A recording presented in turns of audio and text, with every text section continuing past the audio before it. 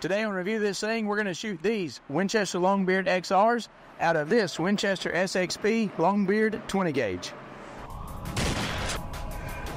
This is Robbie with Review This Thing. You've probably seen us shoot several TSS loads out of this gun already, but since this is the Winchester SXP Longbeard with the Winchester Longbeard choke, we figured we probably ought to shoot some Winchester Longbeard XRs out of it.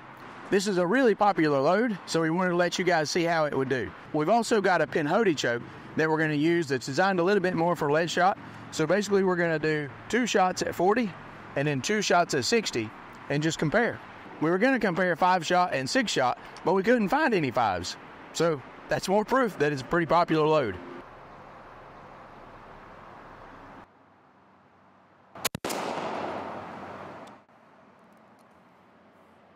It looks pretty good from here. Let's go see what it looks like from there. Looks like we're sighted in pretty well for this load. And there's several pellets right in the head and neck of that turkey. After the pellet count, we had 84 pellets in a 10 inch circle. So now we've changed to the Pinhoti choke and we want to see what it's going to look like.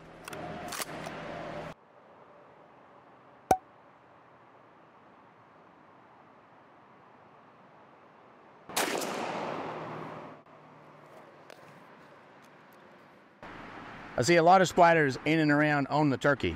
That's usually a good sign. So it looks like it's probably just a little bit low and left whenever we change that choke, but might be a higher pellet count. And with the Pinhoti choke, it did shoot just a little bit lower, but we had 124 pellets in a 10 inch circle. Now we've moved the target back to 60 yards and want to see what these will do. As you've probably seen on our other videos, we don't ever recommend shooting that far, but it's kind of one of those questions if you misjudge the distance, are we still going to have a pellet in that turkey's head?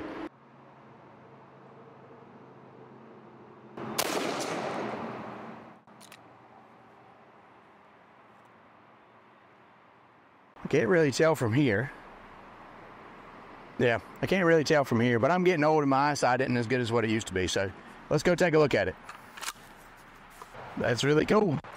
It's 60 yards, but with a 20 gauge, that Longbeard XR number six would have still killed that turkey.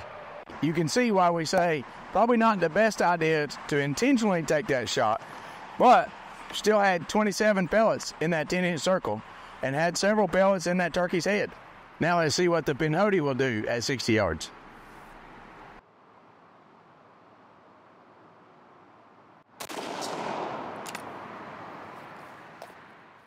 So it is 60 yards. And I can't really see any pellets from here. But that doesn't mean there's not any in there. There's definitely some pellets in there at 60 yards. I don't know that I would recommend it, but it would have killed him.